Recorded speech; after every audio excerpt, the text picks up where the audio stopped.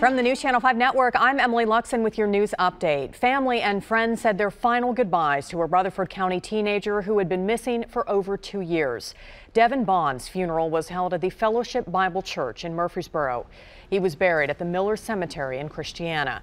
He went missing back in March of 2017. He was just 16 years old at the time. Earlier this month, detectives reopened the case. They searched an area on Barfield Crescent Road and found his remains on November 12th. We're told no foul play was involved in his death. Nashville got a little greener thanks to the 18th annual Reliefing Day. The Nashville Tree Foundation and NES partnered to plant 200 trees across the city. Volunteers planted about 150 shade trees and fruit trees in 12 schools in northeast Nashville. Nashville Mayor John Cooper also participated. Reliefing Day is held the Saturday before Thanksgiving each year.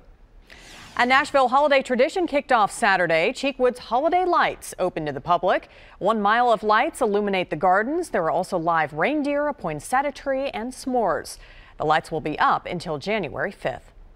And now with a look at your forecast, here's meteorologist Henry Rothenberg. Emily, through the overnight, we got to watch out for some areas of fog, maybe a little drizzle, and hey, towards the plateau, not ruling out a flurry or two will not amount to anything. It may be one of those you have to do a double take and think, oh, maybe that was a snow flurry. Clouds are going to be stubborn for Sunday. They're going to break up, but it's going to be very slow. So we're going to call for a mostly cloudy sky going through the day. Temperatures pretty chilly in the uh, overnight hours, 35, 54 that high for Sunday. Hey, take a look at the seven day rain chances ramping up on the one day we don't need it. That's traveling day Wednesday.